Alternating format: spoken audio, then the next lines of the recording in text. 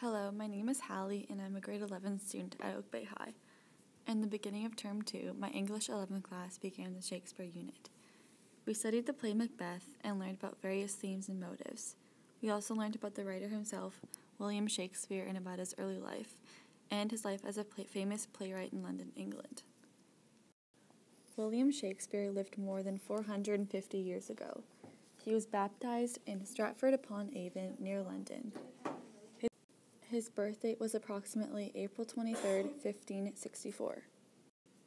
As a boy, he entered King's New School, a grammar school in Stratford, and attended by sons of civil servants like his father.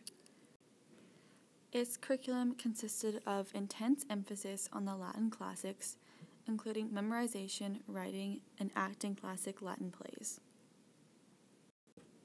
Many say because his education was so exceptional, this was where he developed his advanced vocabulary starting at a very young age.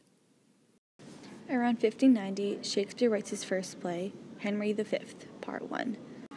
Around the same time, Shakespeare leaves for Stratford, England. There, he begins work as a playwright and actor in London, but the rest of his family stays. Gradually, Shakespeare begins to gain recognition enough to make his peers jealous of his work. In 1593, the theaters closed because of the plague. He uses this time to benefit by being able to write more plays unbothered with all the free time on his hands. In the spring of 1594, the London theaters reopened to the public. During the next five years, Shakespeare's troupe, the Chamberlain's Men, becomes one of the most popular acting groups in London. They accept frequent invitations to perform to the royal court of Queen Elizabeth I. In late 1582, William Shakespeare married Anne Hathaway.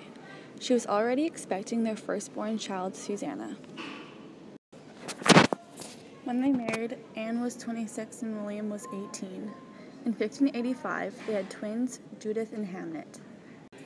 After the birth, there are seven years of Shakespeare's life where no records exist.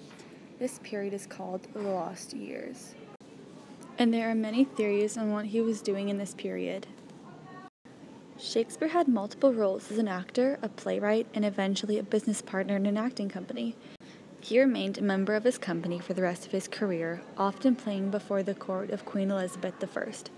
Shakespeare entered one of the most prolific periods around, the, around 1595 writing Richard II, Romeo and Juliet, A Midsummer's Night's Dream, and The Merchant of Venice.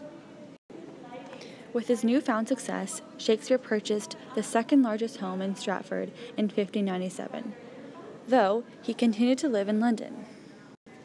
Gradually, he became more famous in the London theatre world, and his name became the selling point.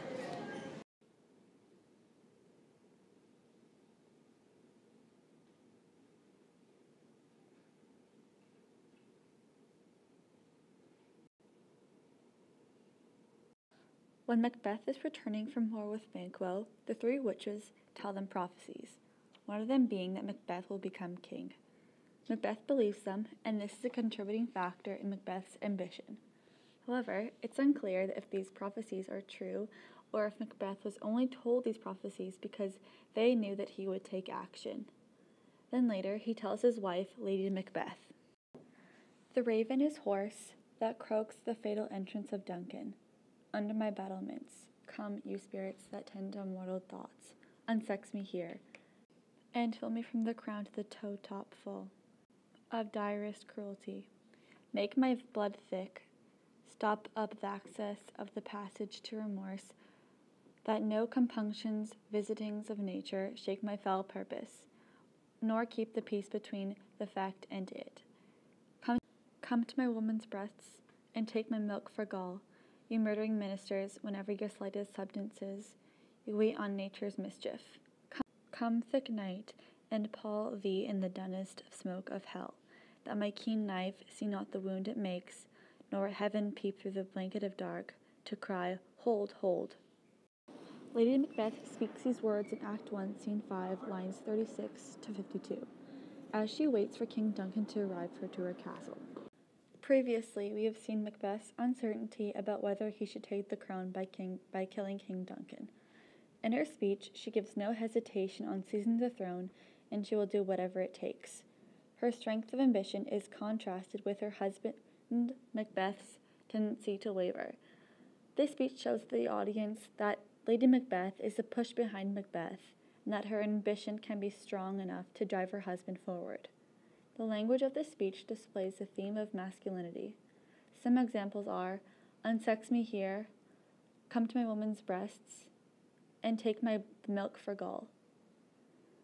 Lady Macbeth quotes as she gets herself ready to commit murder. Her word suggests that her femininity and womanhood would stop her from performing acts of violence and cruelty. She associates this with manliness. Later in the play, the sense of relationship between masculinity and crime will expand when Macbeth is unwilling to go through these murders. She tells him in effect that he needs to be a man and get it done with. Her ambition of wanting Duncan's throne rubs off on Macbeth when he starts getting what he wants by murder. His ambition soon spirals out of control and forces him to murder again and again to cover up his previous killings. Macbeth's first victims are the Chamberlains, who are blamed and killed by Macbeth for the murder of King Duncan. Banquo's murder comes once after Macbeth realizes that the truth could be exposed. Ambition eventually causes the downfall of Macbeth and Lady Macbeth. This theme of ambition has a series of consequences in the play. For example, Macbeth is killed by Macduff, and Lady Macbeth commits suicide. Shakespeare doesn't give either characters the opportunity to properly enjoy what they had killed for.